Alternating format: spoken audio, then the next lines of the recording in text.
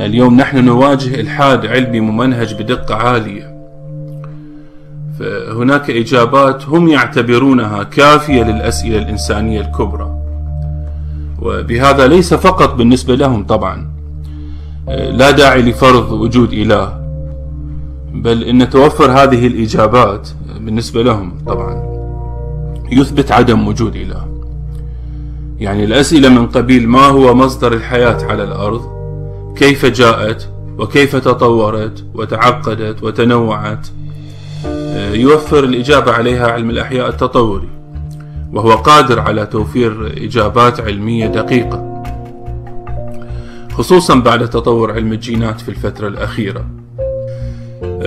أيضا الأسئلة من قبيل كيف ومن أين جاء الكون الجسماني الذي نعيش فيه. هناك إجابات لهكذا أسئلة يوفرها علم الفيزياء النظرية والكونية.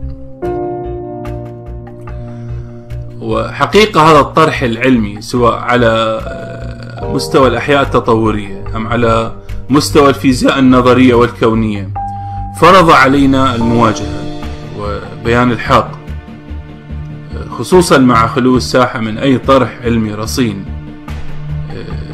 يثبت وجود إله أن اعتماد غالبية المتدينين أو المؤمنين بوجود إله على رفض نظرية التطور والحقائق العلمية الأخرى المثبتة ليس سوى هروب من من الحقيقة كما أن الاعتقاد بأن النص الديني لا يمكن أن يتوافق مع نظرية التطور هو أكبر هدية تقدم للملحدين حيث أنهم بكل بساطة يستطيعون إثبات أن التطور حقيقة علمية لا تقبل الشك.